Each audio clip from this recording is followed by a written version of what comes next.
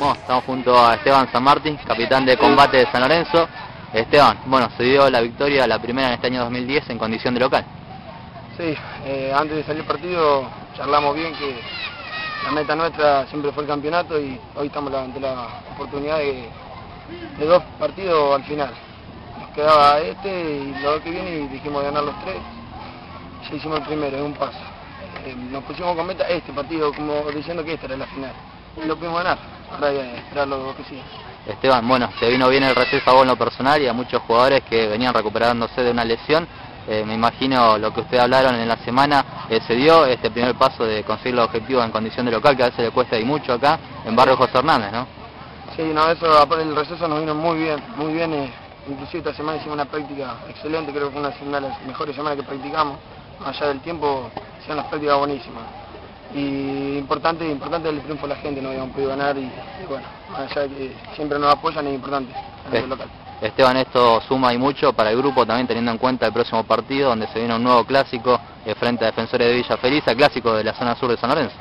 Sí, en el grupo estamos muy bien porque más allá no pudimos jugar nunca todos juntos, pero estamos muy bien, hay un muy lindo vestuario, los chicos se portan todos muy bien y bueno, como decís, llegamos muy bien para el próximo domingo para el clásico. Esteban, parece que combate cuando tiene resultados positivos, ya sea empate de visitante como frente a Barrio Quinta, Sebastián Gaboto y hoy de local eh, con un triunfo, eh, bueno, siempre tiene que tener eh, jugadores expulsados, en este caso también terminaron en el día de hoy con 10. Sí, yo le dije al árbitro, para mí se equivocó, no, no, no fue, a lo sumo era para amarilla porque mi hermano va, va bien a la pelota y lo toca con el pie de apoyo que viene arrastrando. Se equivocó, lamentablemente nunca pudimos terminar con 10, con los 11, y eso nos cuesta, eso nos cuesta muchísimo. A nosotros creo que eso es lo, que más nos está costando de no poder jugar con los 11. Pero bueno, pudimos, pudimos, lo estamos pasando, así que vamos a ver cómo sigue el próximo partido que viene.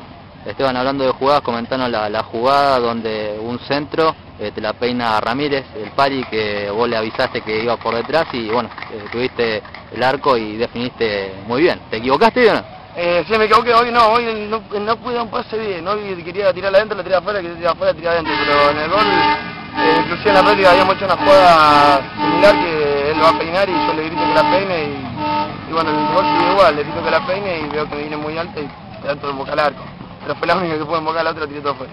Esteban, eh, también hablando de, de embocarla, bueno, eh, siempre uno habla con, con ustedes, con el cuerpo técnico, y a la hora de, definición están amarrando muchas eh, situaciones de gol, tanto en el primer tiempo como en el segundo, ¿no? Sí, muchísimo, es algo que inclusive es algo que tenemos que, tratar de mejorar, pero los chicos, los delanteros que no pueden hacer el gol, lo hacen el desgaste corriendo, ellos se matan, son los primeros que defienden, así que bueno, si hacemos los goles de los defensores y ellos se matan arriba, bienvenido sea.